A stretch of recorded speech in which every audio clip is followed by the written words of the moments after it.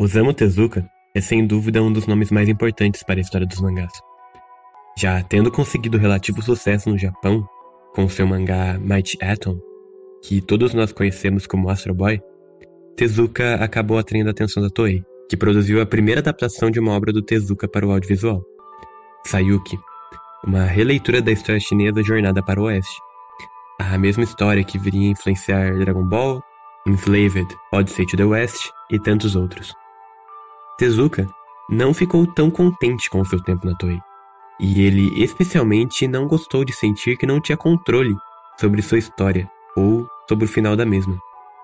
Mesmo assim, este filme é reconhecido como um grande ponto de virada na história da animação. Ele introduziu o uso de estilo de arte simplificado e animação limitada como forma de economia de custos e de mão de obra. Após abandonar a Toei, Tezuka fundou a companhia de produção Mushi Productions, que é o tema desse vídeo. Sua equipe inicial era composta de animadores que ele conheceu enquanto trabalhava em Sayuki, que ele convenceu a se juntar a ele, pagando aos animadores mais do que o dobro do que a Toei estava pagando, além de pagar pela comida. Perto do fim de sua vida, Tezuka admitiria que a razão pela qual ele criou o estúdio e produziu Astro Boy foi para que ele tivesse dinheiro para financiar suas animações experimentais. A primeira produção da Mush Productions foi Tales of a Street Corner, um filme mudo e experimental. Nesse filme, Tezuka expressou ideologia anti-guerra e fez um filme totalmente fora dos padrões comerciais da época.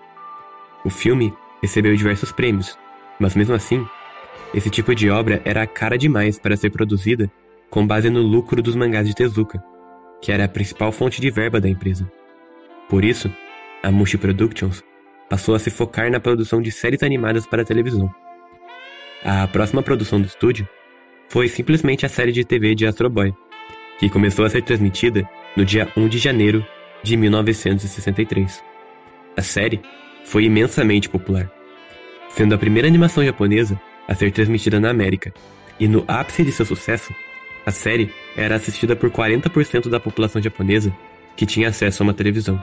O estúdio também viria a produzir séries de sucesso e de grande importância para a evolução da mídia de anime, como Goku no Daibuken, Princess Knight, Kimba, o Leão Branco, Dororo e Ashita no Joe, assim como uma trilogia de filmes adultos que foram parte do projeto Animerama, que além de terem sido os primeiros esforços para tornar os filmes adultos animados comercialmente viáveis, eles também mostravam estilos e técnicas inovadoras de animação. Tezuka abandonou o cargo de diretor em 1968 e fundou a Tezuka Productions, inicialmente para produzir e publicar mangás, e no futuro também passou a produzir animações. Tezuka abandonou de vez a Mushi Productions em 71. Um dos motivos tendo sido conflitos pessoais com Yoshinobu Nishizaki.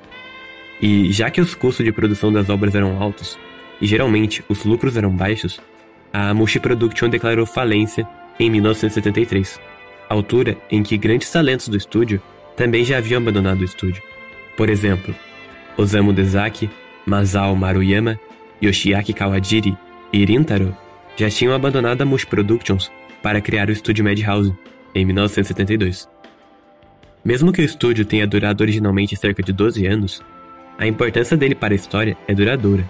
Estúdios como Tama Productions, Group Tech, Madhouse, Sunrise, Studio Pierrot, Kyoto Animation, Shaft e Studio Gallop foram todos fundados por antigos empregados da Mush Production. Além de que a Tezuka Productions funciona até hoje, tendo trabalhado em animes de sucesso de um passado recente, como Sakamichi no Apollon e o remake de Dororo. Agradeço a todo mundo que assistiu até aqui. Esse vídeo é o início de uma série de vídeos que quero fazer sobre os estúdios de anime. E não tem outra forma de iniciar essa série sem começar com a Mush Productions, que é basicamente o estúdio pai dos estúdios que serão temas dos próximos vídeos. Se gostou do conteúdo, peço que se inscreva. Obrigado e até a próxima.